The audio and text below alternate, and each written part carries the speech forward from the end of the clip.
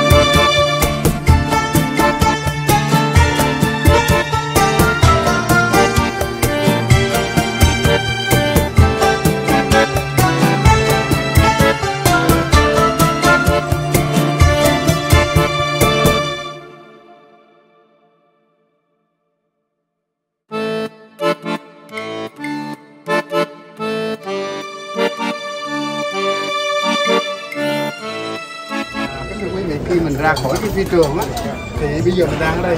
Thì mình sẽ có những cái máy để mình mua. Và cái trạm cuối cùng của mình đó là Praia Thái tức là cái gần cái khu bay dọc tower và Pratunam Center nha. Đây mình đang ở đây và mình sẽ bước vô đây. Cái giá hình như mình nhớ là 40 à, thái bạc nha.